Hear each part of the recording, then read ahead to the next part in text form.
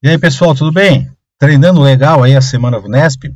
Então vamos lá, mais uma questão aqui, ó. Conjunção com pronome demonstrativo, uma questão que envolve aqui os dois assuntos. Vou mostrar para vocês aqui, ó. Uma questão recente, uma prova recente aqui, ó.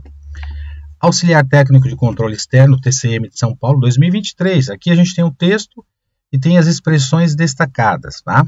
Então, se você quiser pausar o seu vídeo, ler esse texto, ou também fazer isso aqui, ó, eu trago a pergunta para vocês, lá, assinar a alternativa que identifica correta e, respectivamente, as relações coesivas, coesivas tem a ver com ligação, né? Estabelecidas entre os enunciados pelas expressões destacadas, está aqui, ó. Está aqui o texto para você ler e as opções para você assinalar. Perfeito? Vamos lá. Pausa o vídeo, tenta responder e vamos lá.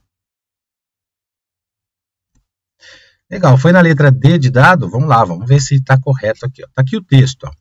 Então a banca está dizendo que é a letra D de dado. Vamos ver pelo contexto aqui. Ó. Nós temos a, no primeiro caso ali, é, o ainda que, né, na verdade a gente pode substituir pelo embora, e temos o por conseguinte que você pode substituir pelo logo. São concessões, aliás, são conjunções concessivas, o ainda que, o embora, e o por conseguinte e o logo, ele estabelece uma relação lógica ali de consequência, né? Estaria tá então a resposta à questão.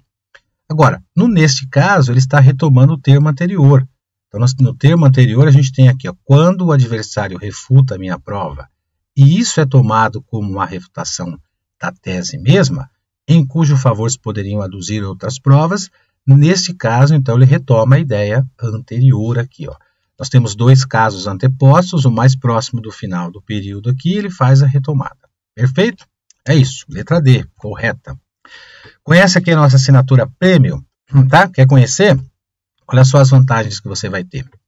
Você já sabe, né, do acesso a todos os cursos, simulados e revisões, teoria, questões comentadas, são centenas de questões, tem mais material em PDF, você vai participar de grupo de WhatsApp para ficar por dentro do curso que você está fazendo, do concurso que você pretende prestar.